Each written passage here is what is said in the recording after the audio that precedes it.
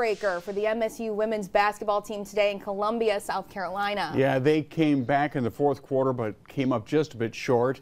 News 10's Joey Ellis was there and has reaction from the team tonight. Joey? Hello, David and Amaya from Columbia, South Carolina. We are hitting both Carolinas on this trip because both the men's and women's Michigan State basketball teams are in the NCAA tournament for the first time since 2021. But unlike the men, Robyn Fralick's women's team unable to move out of the first round, bowing out in a back-breaking 59-56 loss to ace-seeded North Carolina.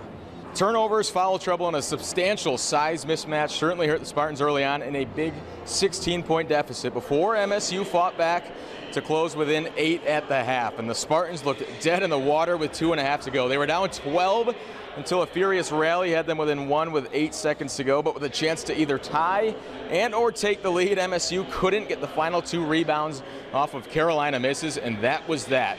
Michigan State season ends in a heartbreaker in Columbia. That's been who we've been. Yeah. I always think um, what I love about our group is I know we'll always fight back.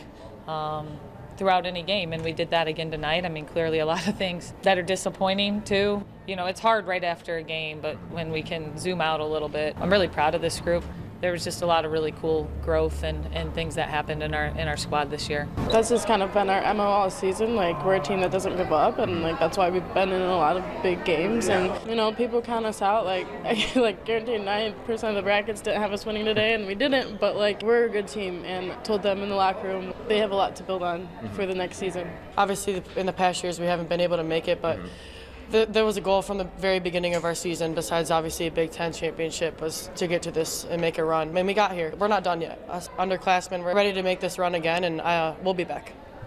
So a very good inaugural season for Robyn Fralick and Michigan State comes to an end in a heartbreak, but surely plenty of takeaways from this loss and certainly plenty of fuel for next season as the Spartans take aim at the offseason prep to make another run in the NCAA tournament next year, guys. In Columbia, Joey Ellis, News 10 Sports. All right, Joey, thank you. About 24 hours from now, the MSU men's team will square off against the North Carolina Tar Heels at the Spectrum Center in Charlotte, North